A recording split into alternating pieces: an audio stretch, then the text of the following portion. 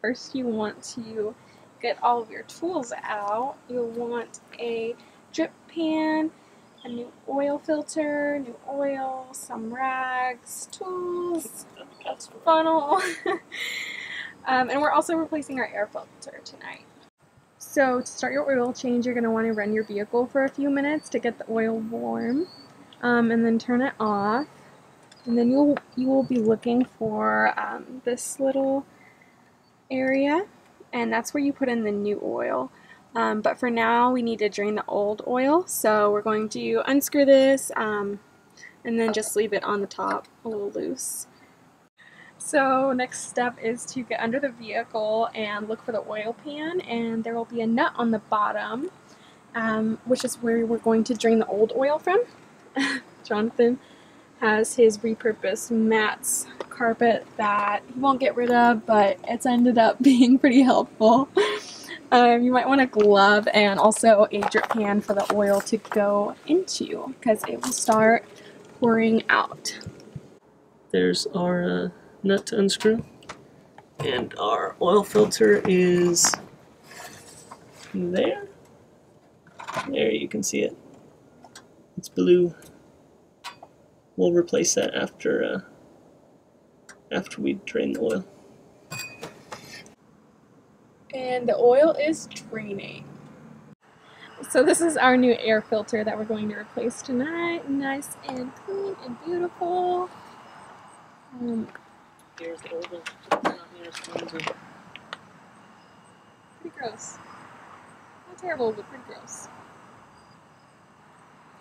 So our um, air filter goes into this area um, and it had little clips that we just took off. Basically, all you have to do is put the new one in and close it back up.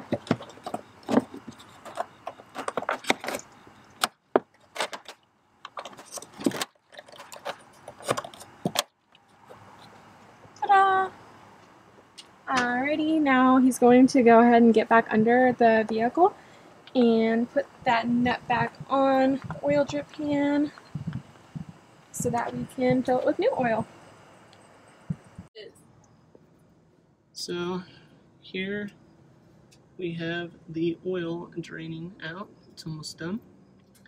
And uh, here is our oil filter. And uh, it should just be hand tight. You want to make sure that you have your oil pan underneath your filter as well so that it catches any oil that comes out of that. You want to lube up the new oil filter with some oil on that O-ring and then he's going to uh, replace it and put it back where the other one was.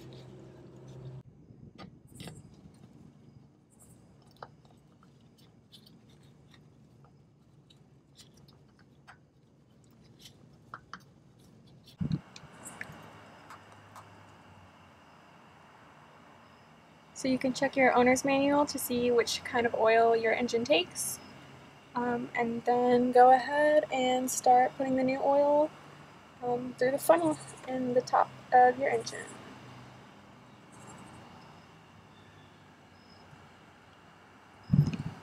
So based on the recommendation of a relative, we are using Lucas uh, Synthetic Oil Stabilizer alongside of our oil tonight, um, hopefully to help our engine run long and happy.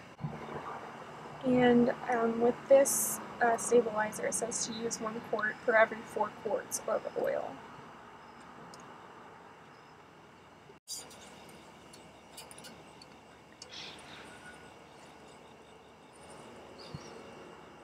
You should check how much oil you're at to see if you need to add any more or if it's full.